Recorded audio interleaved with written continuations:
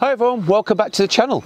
Well, I'm down at the storage yard again and I thought I'd do another caravan Sunday tinkering video. I've got a few little jobs to do on the caravan which I want to share with you and also uh, I want to discuss a couple of things that I uh, read on social media that gave me uh, quite concern which I would like to share with you just so you don't make these mistakes. And also, why have I got a bottle of T-Cut with me? Let's go and check the video out. So as in previous videos, I get plenty of comments and I ask, have questions asked. And one question that was asked is by Steve and he said, how do you get inside the awning rail and give it a good clean? Well, there is a tool on the market which is this. I'll just stand closer so you can see it. Hope it focuses in. That is an awning rail brush and to be honest I think they're rubbish. Um, they don't always fit all awnings and to be quite frank they bend as well. So I don't bother using that anymore. In fact it's rubbish. I'll throw it away. What I do use is this and this is a, a very fine brush. It's quite stiff bristled and you can see how thick that is. It's very fine now I bought a pack of two. I think they were about five quid. I, I could be wrong but I will leave a link to them because I got them off Amazon. Now I'm using one at the moment. This is my new one. Uh, I kept this deliberately just to show you um, what they're like and I'll show you how they work in the awning rail now. So when I'm using any brush uh, in the awning rail I always like to start where there's an opening like this. Insert it like so and you can use this side to side and it'll clean the inside of your awning rail perfectly. It's better than the one that they actually sell uh, as a purpose awning rail, but this, for me, is probably one of the best. So the one thing I want to address is this. On social media, I spotted a thread where some people that were relatively new to caravanning were asking, is it okay if I tow with the cistern full of water?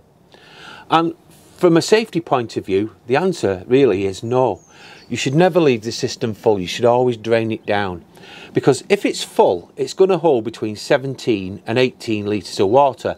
And a litre equates to a kilo, which is adding up to 18 kilos worth of weight to the back of the caravan, especially if it's the, the loose here like mine is. Uh, yes, all right, if it's centre, uh, it may displace it, but nonetheless, you're still adding up to 18 kilos worth uh, of weight to your payload. And at the rear, it's going to push this in the wind and make its way and it's going to be make it very unsafe to tow and a nightmare with its handling as well. So my top tip is always drain down your cistern and always empty your cassette before you set off home. So one of the things I want to tackle is this. I've got a scratch on the window and it looks like I've brushed against a tree going past a hedge or something and caused a minor scratch there's a few little squirrel scratches as well on it which is not like me. Um, and I want to get rid of this. So what I'm going to do first of all I'm going to wash the window and make sure I get rid of any grit and deposits on the window before I start tackling the scratch. So I'll just quickly get on with that now. So I can hope you can see that a little bit better. I've repositioned the camera but there's the scratch. What I'm going to be using is T-Cut so I'm just going to put a little bit on a dry soft microfiber cloth. Now make sure that you do this um, with a clean dry window because otherwise it won't work and you'll be polishing grit into it as well. And what we need to do is really work at this. Now I've concentrated primarily on the centre of the scratch and I've worked my way outwards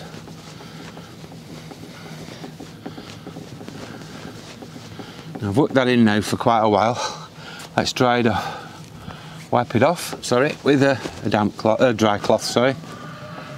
And as you can see, that has gone. I am happy with that. Very pleased. So that took no time at all.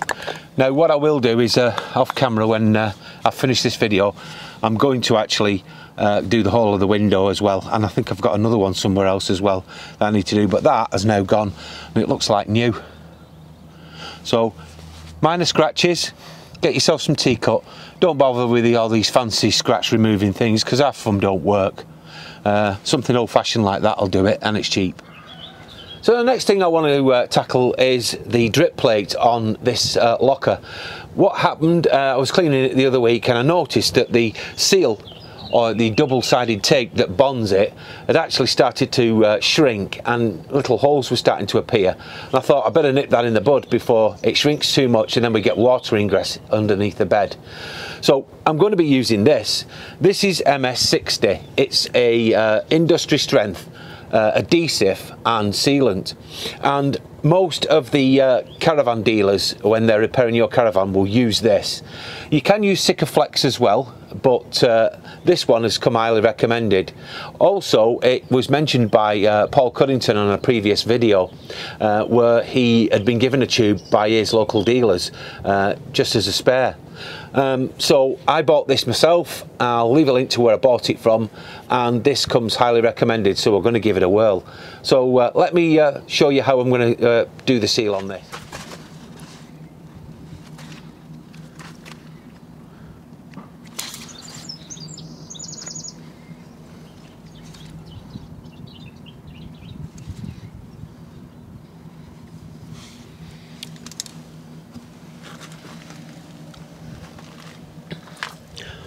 So that's that one done. So I've done the top part, I'm going to go all around it and also the others as well off camera, but I'm really pleased with this stuff. I'll, I'll show you a way of protecting this and stopping it going off as well. Okay, so here's my tip. If you're using any of these tubes, uh, silicon, uh, adhesive, whatever, I always like to remove this and discard it because them caps that go on the top that screw in, they don't really seal and to be honest they're rubbish so for the sake of losing a little bit in the tube I just discard that and what I tend to do is I get a little bit of cling film and I fit it over the end like so. And a while ago I was on eBay and I spotted these. And they're a thread with a seal on the end. And what I do is I just simply twist that on tighten it up so it gives a nice seal. And that will protect it and keep it ready for the next, next uh, use. Just have to use a new uh, tip.